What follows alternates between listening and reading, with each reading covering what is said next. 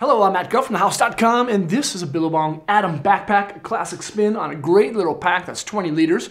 It's 17 and a half inches high, 12 inches wide, and 6 inches deep. This is a great polyester weave style pack with a zipper, main compartment closure, and two exterior pockets.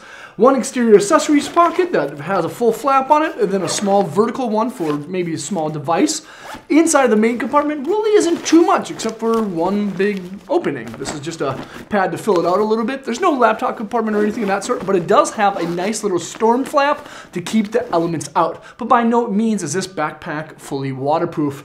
Along the backside is a fully padded back, ergonomical padded shoulder straps that are fully adjustable as well, and then a nice little carry handle. Again, this is a very simple bare bone style school backpack by Billabong called the Atom, and you can check it out at thehouse.com. Thanks for watching. Leave a comment or a question, and remember to subscribe to the House Board Shop YouTube channel right now.